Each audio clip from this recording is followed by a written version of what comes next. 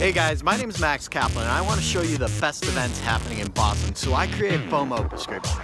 So what is FOMO Prescription? It's a weekly event newsletter where I pick the top seven events happening in Boston, one per day, and you get one convenient weekly email.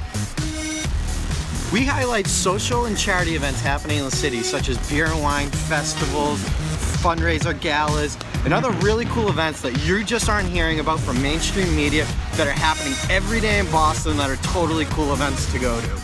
You like the Daily FOMO Prescription Pick of the Day, go ahead and subscribe on the bottom corner here so you get every day's videos.